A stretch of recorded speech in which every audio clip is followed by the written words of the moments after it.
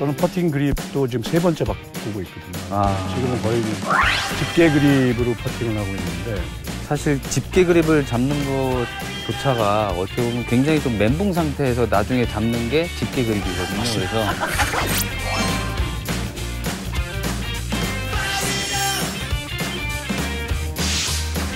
릅니다. 끝났어. 아, 들어갔다. 들어갔다. Oh my God.